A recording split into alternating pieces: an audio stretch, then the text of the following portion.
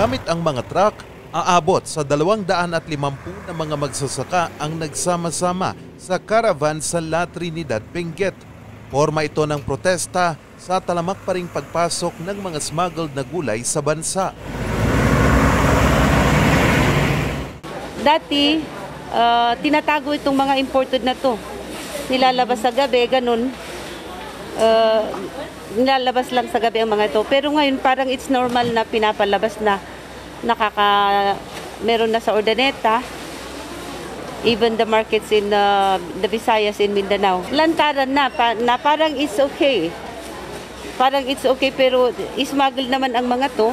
Ayon sa grupo, binabaha na ang merkado ng mga carrots galing China. Katunayan, may hawak silang sample ng mga carrots. Mas makinis ito at mas matigas.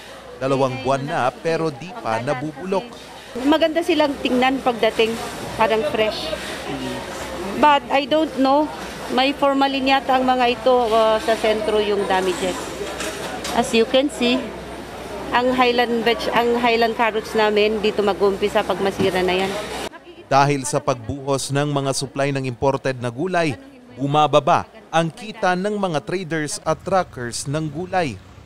pag hindi nasawata itong smuggled carrots na ito, ay mababawasan or mahihinto ang order ng iba-ibang markets sa lowland.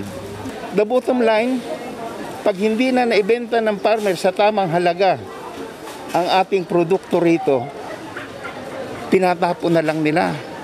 So nakakaawa. Ayon kay Bulawan, nakukulangan sila sa aksyon ng mga kinaukulang ahensya.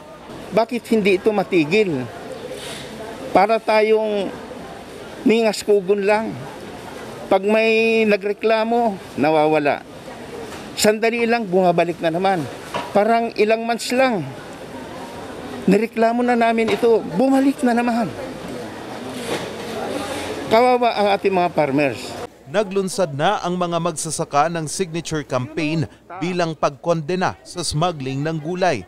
Wala pang pahayag ang Bureau of Customs at Department of Agriculture tungkol sa nadiskubreng carrots mula China. Laring katiyakan kung kailan itutuloy ng Senado ang investigasyon sa smuggling ng gulay.